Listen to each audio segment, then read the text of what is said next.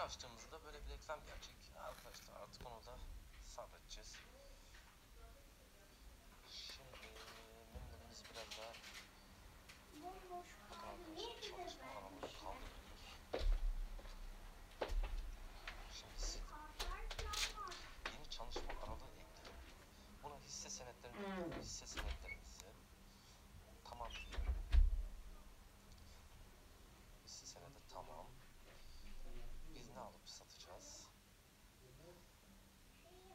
Ondan sonra hisse senetleri yeni çalışma alanı bir de bitcoin yapalım.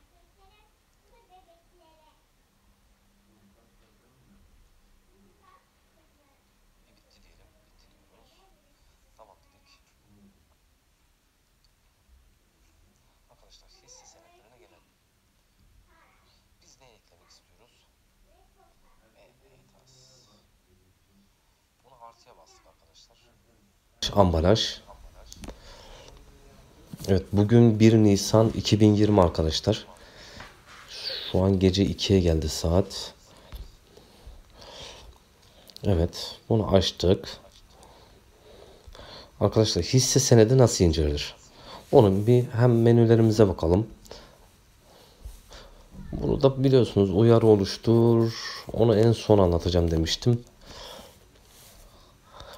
Çift tıklıyoruz arkadaşlar. Burada çalışma alanını ekle dediği zaman istediğimiz alanı da ekleyebiliyoruz burada. Şurada menü çıkıyor. Zaten şeyde listemde zaten. Bitti dedik. Okey dedik. Çift tıkladık arkadaşlar.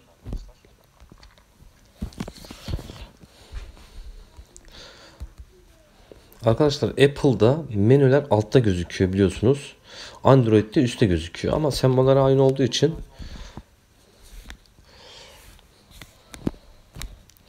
çok fazla fark etmiyor. Semboller geldi. Ben tarihlere tıkladığım zaman semboller geliyor. Ben de iPhone'da öyle bir şey yapıyor. Şimdi menüleri menüleri inceledik arkadaşlar. Günlük evet.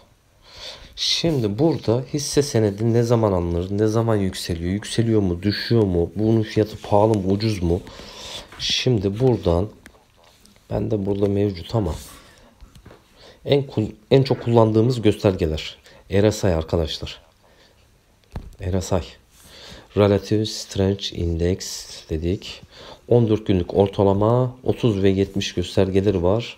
Bunu tamam dedik. Ondan sonra bir de arkadaşlar buradan bu şekilde ekliyoruz. Osilatörleri ve göstergeleri. Osilatörler nedir? Osilatör arkadaşlar e, aşırı alım ve satım bölgelerini gösterir. Buradan da MACD'yi yapacağız. MACD'de de ortalamaları gösteriyor zaten. Ağırlıklı ortalamalar, fiyat ortalamaları. Arkadaşlar bir de GGI ben bunu çok seviyorum. Commodity Channel Index. Bunu da ekleyelim. Periyotu 20. Buradan periyotu değiştirebiliyoruz arkadaşlar bu arada. Ama standart kalırsa daha iyi olur.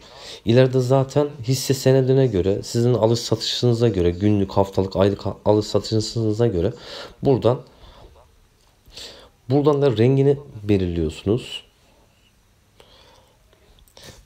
Burada new dediği şurada new gözüküyor. Arkadaşlar new var bakın. Burada new var. New altta gösteriyor arkadaşlar. Yani üst yazım yaptığı zaman üst yazım yaptığı zaman eee, fiyatın üstünde belirliyor. Fiyatın üstünde görülmek isterseniz mesela üst yazım yaptım ben. Bunu çoğu kişi bilmiyor. Mesela bakın. Buradan ne oldu? Şöyle gösterge fiyata yapıştı arkadaşlar. İkisini beraber üstte görmek istiyorsanız bu şekilde yapabilirsiniz. Buradan da şuradan ayarlara tıklıyorum. Aşağıdan yine ayarlara tıkladım. New yapıyorum arkadaşlar. Bitti dedim. Aşağıdan yine bitti diyoruz. Arkadaşlar şimdi bir hisse senedi ne zaman alacağız? Ne zaman satacağız? Buradan şuradan da bakın arkadaşlar buradan böyle ayarlar yapılabiliyor.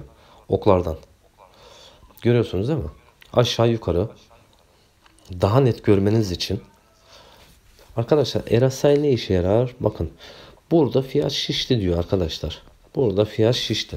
30 ile 30 ile 70 arasında bir gösterge var. Bunlar çok önemli. 70'i geçtikten sonra sat demek arkadaşlar.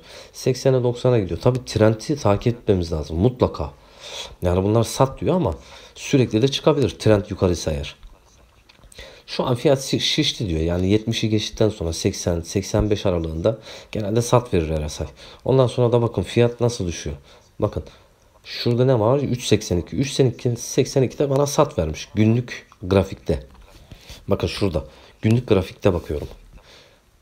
Ama alış satışta tabii ki saatlik ve 15 dakikalık, saatlik, 4 saatlik bunlara bakabilirsiniz. Bakın fiyat nasıl düşüyor. Arkadaşlar fiyat düştü düştü düştü düştü düştü. Bakın 3.80'lerden arkadaşlar bakın tabi 1.67'ye düşmüş. Bakın RSI kaçı gösteriyor? 20'yi gösteriyor arkadaşlar. Burada da almayacaksınız aslında. Garanti almak istiyorsanız burada da almayacaksınız. Bu en aşağı bir 30'a insin, 20'yi görsün, belki 10'a kadar, 10, 12'ye kadar falan düşebilir. Tabi dibin dibi olur o zaman. Bakın 30'dan çıkmaya başladı. 26 oldu RSI. Geliyorum, geliyorum, geliyorum, geliyorum. Geliyorum bakın 25'ler, 26, 30. Bakın 30, 36'ya çıktı arkadaşlar bakın. Şu an gir diyor bana.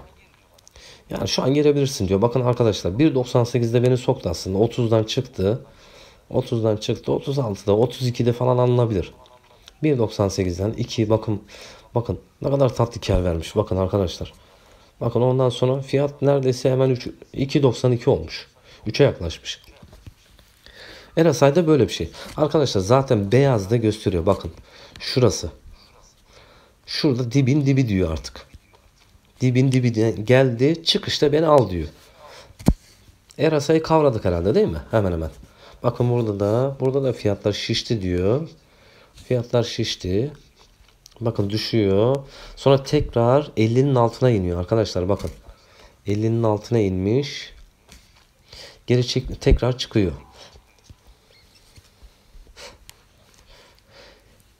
Bunları çok daha detaylı göreceğiz ileride. Sürekli değineceğim bunlara. Şimdi tamam RSI'da tamam ufak tefek öğrendik. Şimdi MACD'de nasıl öğreneceğiz biz? MACD'de nasıl öğreneceğiz? Bakın MACD'de de yeşil şuraya geldim. Yeşil kırmızıyı yukarı doğru keserse bu al sinyaldir arkadaşlar. Bakın barlara bakın yeşil yeşil yapıyor. Görüyor musunuz? Bakın yeşiller düşmeye başladı ama. Bakın yeşiller düşmeye başladı. Kırmızı oluşmaya başladı. Üstte de yeşil tekrar kırmızıyı aşağıya kesiyor. Aşağı yeşili takip edin arkadaşlar. MACD'de yeşili takip edin. Şöyle yapalım. MACD'de yeşili takip edin arkadaşlar. Bakın yeşil yukarıyı kesti. Kırmızıyı kesti. Fiyat çıkmaya başladı. Arkadaşlar bakın fiyat görüyorsunuz. Bakın şurada da aşağıya kesti bakın. Aşağıya kesti. Bak şurada aşağıya kesti tam. 3.65'te hatta 3.65'te kesmiş bakın. Sat sinyalini verdi aslında. Bakın 3.52, 3.38. Bakın nasıl kıvrılıyor aşağıya doğru. Ondan sonra güm aşağıya doğru. 3'e gelmiş arkadaşlar bakın. 3, 2.88 sonra 2.16 bakın. Bakın sıfırın altına gelmiş. Yani düşüş trendine düşmüş artık. Salmış bakın iki çizgi MACD'de. Sonra bakın şu kıvrılım kıvrılıma bakın arkadaşlar bakın. Bakın ikilerde. 2 lirada yine 1.98'de bir sinyal gelmiş. 2'de tam net bir sinyal gelmiş MACD'de. Yeşil kırmızıyı kesmiş yukarı doğru. Evet 2.92'de gidiyor. Yani bize sinyali 2'de vermiş aslında. 2.90'da mesela şu an 2.90. 90 kuruş. Yani neredeyse %40 kar vermiş arkadaşlar bakın. Çok basit. Ama trend takibi mecbur. Mecbur trendi takip edeceğiz. Bunlar arkadaşlar %70, %80, %100 doğruluğa sahip ama trend çizmeyi öğrenmezsek hiçbir işe yaramaz. Bakın GGI dediğimiz şey bakın bu da çok net. Burada arkadaşlar sıfırın altına girip çıktığı zaman burada çok net sinyal veriyor. Bakın burada da GGI var ya ben bunu çok seviyorum arkadaşlar bakın. Bakın eksi 34 oldu bakın arkadaşlar.